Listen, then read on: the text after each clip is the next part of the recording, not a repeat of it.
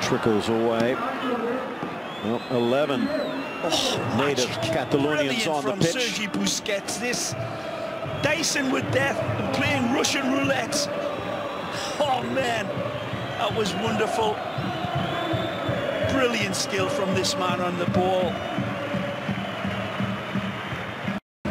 Simao in.